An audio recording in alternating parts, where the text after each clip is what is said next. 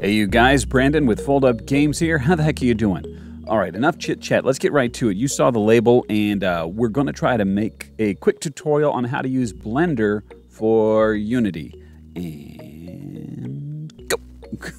Here's Blender. Hey, if you didn't already uh, download it, I don't know what you're doing with your life. It's at blender.org. Uh, don't you hate it when people go through instructions on how to download something? You're sitting there looking at it. Uh, you should be following along with me at home right now. Uh, if you've got two monitors, that would really help. Sure. um, first and foremost, let's address the elephant in the room. It's very, very, very important that you know this one right off the bat. Blender is a right handed coordinate system. That means that Z is up and Y is forward. I am so sorry about that. Um, nothing to be done about it. It's just the way it was built in the first place. They had a lot of good reasons, and I won't get into it right now. But uh, y is forward and Z is up. There, there really is no fixing that. You will have to compensate for it and just get used to it. Or, I don't know, work top down and you'll feel a lot better about yourself. Um, so uh, that's just the way it is. Um, boom, boom, boom. Let's do some inputs right here. And um, if you don't have a full number pad, it will slow you down a smidge, but we can emulate that.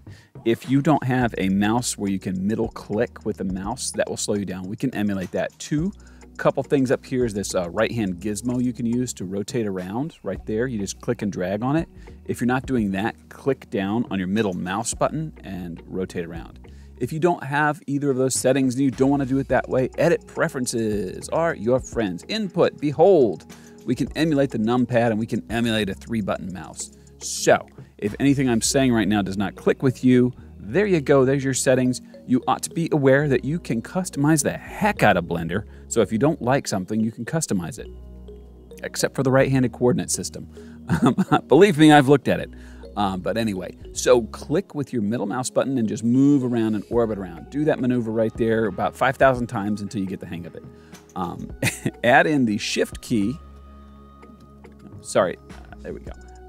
Yeah, there we go. The shift key and do that at the same time and you'll be dragging around. You could also use any of these buttons up here. This is not a tool, this hand button. We don't click it and we're using the hand tool. Click and hold it and you are dragging right there, okay? You got me? All good?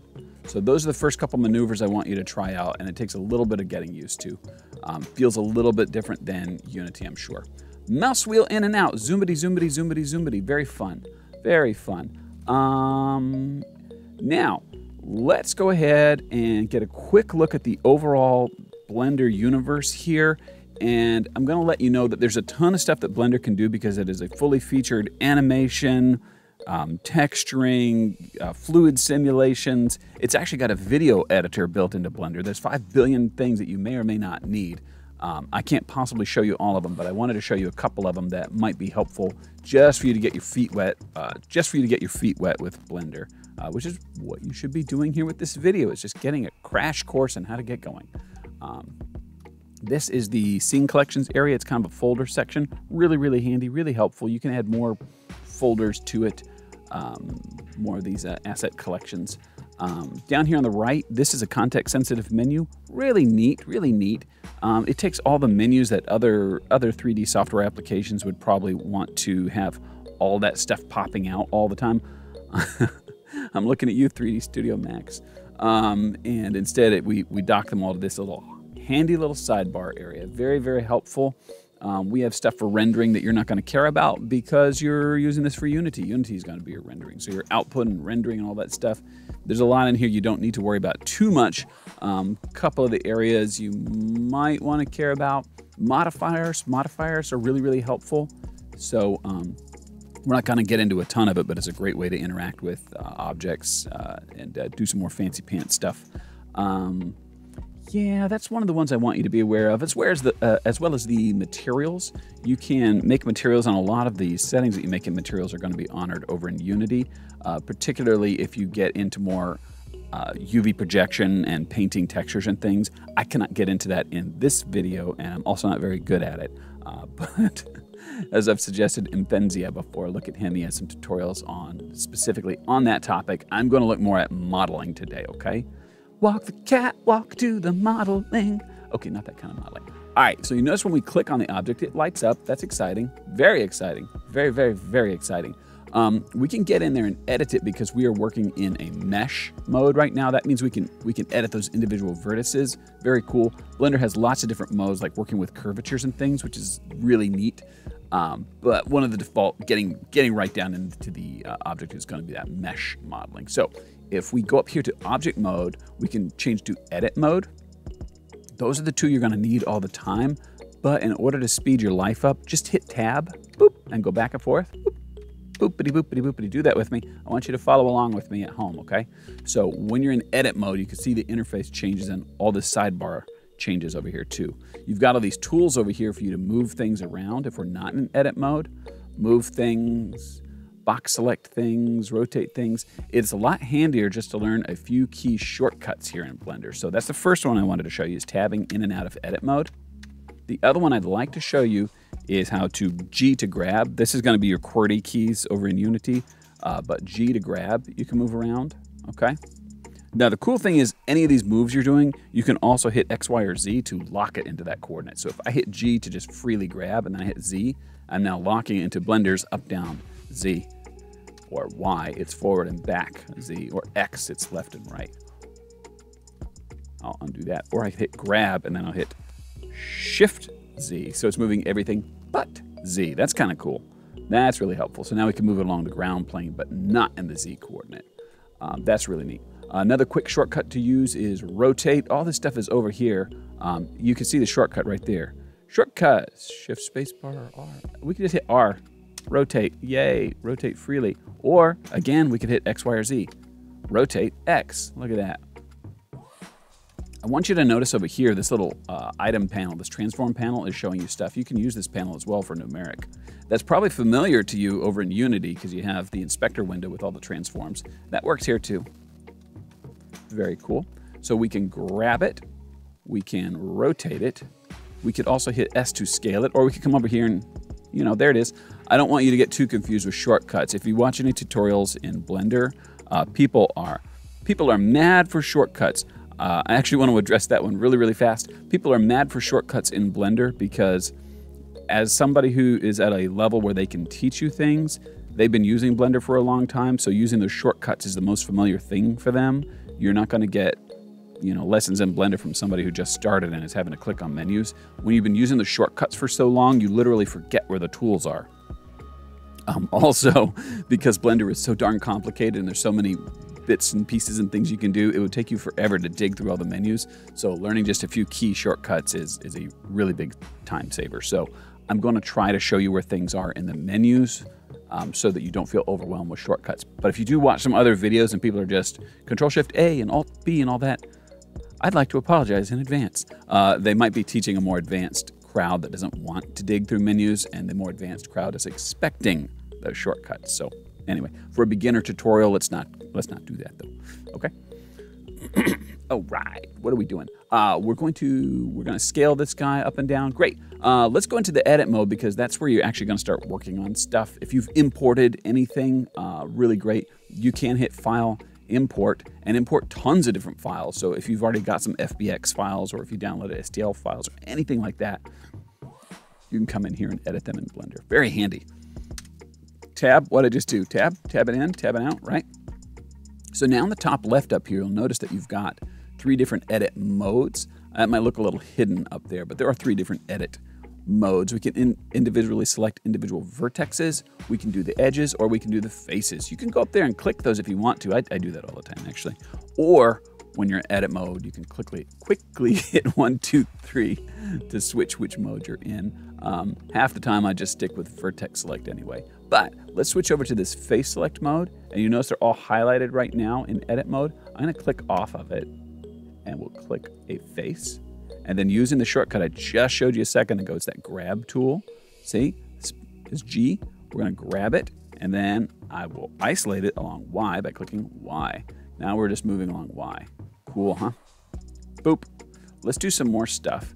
We're gonna grab that guy and I'm going to extrude it. There's all these tools on the left go ahead and just fiddle with these. You're not to break anything. You'll find them to be a lot of fun, like beveling, for example, or a loop cut. These are all great tools to be using. Um, I tend to use the shortcuts all the time. as I just uh, mentioned to you, I'll, I'll try to show you over here on the sidebar. So let's extrude this guy. And by default, it's going to try to extrude it up in the Z coordinate because it knows that's where it's going. And you can see the little tool on screen is highlighted with a blue line up there. Very nice. Good. We're all off in weird directions here, so let's go ahead and use our number pad to get into the view we want. If you don't have a number pad, remember I showed you where the number pad emulation is, or we can use this tool up here and just click on things too. But the number pad is helpful to change your view. You hit one on your number pad to go to the front view, and we can see right there at the top left, it says you're in front orthographic. We hit three and we're on the side. We can hit seven, we're on the top. Five is gonna switch us back and forth between orthographic and perspective view. You got the same thing over in Unity. You know when you click that little, little, uh, the, the, camera, I believe it's under it. Yeah, it says perspective or orthographic. Kind of the same concept here. Very, very similar. So you ought to feel some familiarity. It's actually just enough. It's it's just enough to throw you off sometimes because you come over to Blender and you're like, whoa, whoa, whoa. Things are similar enough, but not just enough to kind of weird me out. So anyway, let's just let's see if we can get some comfort here. And the best way to get comfortable with Blender is to keep doing these basic movements I'm showing you and just tab in, tab out, move around, move around. Okay, we're, we're gonna take it slow here. Okay, so we're gonna we're still in face select here. Might as well keep with it. And I'm going to do another extrude out there. That's great. And I'm gonna do a bevel here just because it's fun. Control B is the shortcut. You can see it right there. Or I could just click it and I'm using it more like a bevel tool and I can grab it and we just do a little bevel there. You see that? Kind of fun, huh? Um, I usually tend to stay in the selection box. That allows me just to drag a selection box like that. And you'll notice it's solid, so we're not selecting through it. If I go to vertex select and you mean to select all the way through with a box select, it will not do it because you're not actually uh, seeing through it. Uh, we can switch our modes though, and we can see through it up here at the top right, like that. So now we're more of an X-ray mode. A quick shortcut for that is to hit Z on your keyboard, and it pops out this little flywheel, which is, I think, a lot of fun. I really like doing that. Look at that, do that so fast you don't even you don't even see it. But you can see up here it does change. Um, another thing you can do is this little guy right here, the toggle X-ray, Alt Z if you want to know the shortcut. Alt Z. So you're still in kind of a solid mode, but you can see through it. That way you can intentionally select all the way through. See what I mean? So that's pretty helpful. That is pretty helpful. Um, let's do a few more moves here. Uh, let's do let's let's merge some vertexes together, and we're going to delete some vertices vertices, vertexes, I always say it wrong, vertices, and we'll fill some faces. This is just general damage repair that you might have to do with a model that you've imported. So let's go ahead and we'll click this guy, and we will shift click the, the next one to get them both, and I'm gonna right click, and we're going to merge them. So we'll slide down here, it says merge. There's a lot of interesting stuff in the pop out. We will merge them, and we'll merge them at the last vertex we clicked. Boop, there it is. Now I got a weird twisted face there. We don't want that. We'll click that and we'll shift click the next one, right click again, merge them at the last point. You've probably gone off already doing your own thing because you've already gotten the hang of it, and that's fine. I'm just going to keep on messing around with things. We're going to do some basic moving around of faces. This is so that you just get kind of comfortable with what we're doing. If you are watching any of Imphenzia's uh, content, you'll see him doing a ton of stuff like this, but he's doing it really, really fast. So hopefully this will allow you to kind of catch up slowly and then get more value out of other tutorials that you're doing. Uh, we'll grab this one. I'm going to hit 3 on the number pad to go to the side view. G to grab it, and Z to lock it in that direction, and we can slide it up. You see how easy that was? So we can start to manufacture something here. So let's say we were making some sort of a weird, I don't know, like an alien gun, and we wanted another cut in here. We could use a loop cut tool for that. I like to use the control R for the shortcut on it, but there's the tool right there. Right there's your tool. So I'm gonna hit control R, and there we go. We're gonna do a loop cut. It's gonna try to add some more geometry to it. And I can use my scroll wheel while I'm doing this to add more subdivisions. Very, very helpful. I'll click it. Now I've got that loop cut and it's saying, okay, where would you like it? And I'm just sliding along here. I'll hold it right there and I'll confirm it. I'm gonna hit three to go to the side view. I don't like the way this uh, zigzag, so I'm gonna hit S and I'm now scaling these individual, these individual points, scaling them along the Y axis by hitting S to scale it and then Y to lock it along the y-axis. And I'll just scale them all solid. I'll do it again just to make sure. I can G to grab those control points along the Y axis by just clicking it. We're doing the same things over and over again. So I'll go ahead and lock that there. Let's do another. Let's do another. Boop. Loop cut with Control R. Slide it into place. And I will scale with S along the Y axis. Y. Scale. Y. Scale. Y. We could, of course, use our scale tools and everything here. And these tools do the same thing, scaling along that axis, which won't do anything because, there we go. it's hard to scale a line any, any further. As you see, it's barely moving because it's a line. Um, but anyway, you can use these tools along the side if you're not comfortable with the shortcuts. They're sitting right there and happy for you to use them. We'll go to this face right here. We'll grab that face and I will E to extrude it or come down here and hit E to extrude. Boom, right there. Either way you go about it. Either way you go about it. So you can start to manufacture stuff the way you want to. Okay, you got the idea. That's some basic vertex and faces and edges and mesh modeling. We'll delete that with the delete key. Um, we can add more objects by hitting add. Add what kind of object? This is where I said uh, Blender can do a ton of different stuff. You can make an armature for a character, you know, and do all the rigging and stuff with an armature. You could do curves and do more um, Bezier type modeling. Uh, but usually what you're going to want to do is your, your basic mesh modeling so you really get control over those individual vertices and keep that poly count where you want it.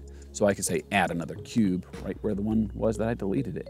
I'll grab it along the z-axis and now I'll use a shortcut this time. I'll hit Shift A, Mesh, and I'll add a cylinder. Cool thing I want you to look at here is the bottom left. Some of these objects, when you add them, you've got a moment to make some real fundamental changes to them, like the vertex count. I can enter that numerically, or I can literally slide up and down just by dragging and sliding. You can do a lot of that stuff over in Unity as well, so it ought to feel familiar to you. But let's say we wanted 64, and there we go. So we just created a cylinder with 64 sides. Pretty handy. Um, one more thing I wanted to show you before we move into an, another another area of it. I wanted to show you those actions with the with the modifiers because this can be a really really helpful way to do some more complicated modeling. Uh, let's scale with the with the scale tool or hit S and I will lock it to the Z coordinate by hitting Z. I'll scale that up. And now let's say I wanted to scale the whole thing down like that. I will rotate along the x-axis by hitting R to rotate, X on the x-axis, and I can actually punch in some numbers right now. 90, boop. Over here you can see that's all changed as well. We can do that numerically. Now we can go to the side view. Let me see, I'll just grab this in a freeform kind of way and I will shift click that box. We'll grab that in a freeform kind of way. Let's say we went to the modifiers panel, that little wrench looking guy here, and we added, one of my favorite modifiers is gonna be uh, the booleans because they allow you to add and subtract and build. So uh, let's try a boolean difference on that. That should cut out something out of it. So we'll take this guy. Um, let's apply it. Right now it's a modifier, so it's not actually live. And we could still make some changes to this right now, like inset. We'll drop down that arrow, that little chevron. We'll apply the change, and we can delete the original cylinder because now we have this shape, a cube with a little hole cut out of it. Cool, huh? Uh, cool. Let's do, do, do, do, do. Let's do some materials real fast. Um, before I do that, I do want to, I do want to point out, like I said, there's a zillion different um, there's a zillion different things that Blender can do. I want you to be aware of the, the width and the depth of the program without having to be overwhelmed by everything that it can do because there's a ton of stuff that you might not really need since you're taking models over into Unity you might need to learn animation. You might want to learn a few things about uh, you know, texture painting and things of that nature. Um, you might want to utilize the sculpting tools because it's a really convenient way to to work on things. So I want to give you a quick overview of where some of the other tools are real quick, uh, and then we'll, we'll try to wrap up with a couple of materials, all right? So up here at the top, there are a bunch of predefined workspaces for different things. And uh, like I said, Blender can be customized all to death. So you can you can make the interface be whatever you want it to be. Whatever you want it to be. When it's got this tab up here that says layout, that's just a default predefined, you know, setup. But I, I can come over here and let's say I'll right click between these two and I'll say I'm going to do a vertical split. Boop. Now I've got another window over here. I can just hide, I can hide this whole thing over here. Um, you hit uh, N for numeric hide and I can change up here on the top left tells you what the editor window is going to be. So I could take this to be a text editor. I could make notes. I could write a few quick executable codes in there if you wanted to. It could be a compositor, a UV editor, um, the shader editor. Uh, it's got this really big complicated system built in with nodes that allows you to to make the shaders exactly the way you want it to. You ought to remember that from Unity too if you've gotten into that. Uh, the timeline is the same windows we have down here already. Um, but you might be doing image editing and importing things. But you can make this all whatever you want. I'll right click the break between them and I will join the areas and look at this. So flexible with what you can do with the interface. Okay, I promised you some textures and we'll do that, the uh, materials, and we'll do that. We'll hit materials and in the materials, I will just add a new material, it will be a default material. And so I can see what the heck I'm doing, I'm gonna change the viewport. Up here, you remember we can change the, uh, I'm sorry, the, um, the viewport shading. We can change it to rendered, which shows what, whatever the camera and lights and everything will do. Um, I just wanna see the material, so I'll change it to that. Uh, we'll change the base color to red, and we'll make it metallic and specular and not very rough at all, so it gets more and more shiny. We can actually add a second material to our materials, which is a lot of fun. Let me rotate this cube around. Rotate, Z, 180. Boop. I rotated it along the Z axis and 180 degrees to flip it towards the camera. Let's go ahead and in materials we've already got one material and I'll just uh, I'll just rename this one um, shiny red. We'll add another material to this material and we'll make a new one instead of picking out materials because we've only got the red. Let's med, uh, we'll make a flat, we'll make a flat blue. How about that? We'll take this color. Look how easy this is. Boop, there's a color. How metallic? Not very. How specular? Uh, not very. How rough? Very. So now we've got a nice flat blue. We haven't applied it to anything yet. It's just sitting there. If we were to add another another object in here, we could you know grab that material, boom, flat blue right there.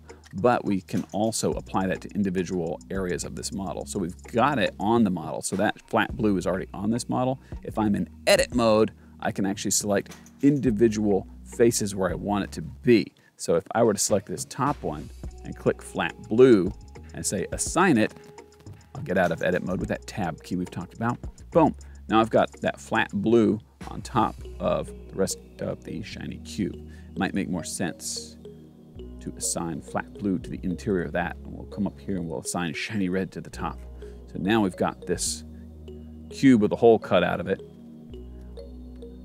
Fun stuff. This cube is still very editable, so we can go into edit mode, grab that face, and we can hit that, that uh, move tool, the grab tool, grab it along the Y axis, and instead of being an inset, we can have that punch out like that. So much we can do. We can grab a face and then scale that individual face, probably wreck our geometry in the process. I have all these twisted, twisted polys in there. Um, anyway, there's so much you can do here, but I hope that will give you a really, really, really quick overview of how to work with Blender and kind of get your feet wet and get moving. This is a real lesson one. My objective is that you can get some more lessons later on and do uh, a bit more and understand them. When you're ready to export this model, go up here to File, Export. We want to export the FBX into our Unity folders, wherever the heck that is. And we can say make sure that you've got the selected objects only, and this is where we can apply our uh, any of those any of those transforms that we've put onto it. Uh, once we've scaled it, Blender is no longer thinking of this as a solid object, it's thinking of it as something scaled, so we kind of need to apply it in advance. So instead of being an object that's scaled at 1111, over here on this right-hand side, if you've been scaling it and rotating it, Blender is saying, well, it, it's still that same object, but it's scaled. So in order to export over into Unity better, it says, well, why don't we apply these transforms and just go ahead and reset all of the transforms to be default.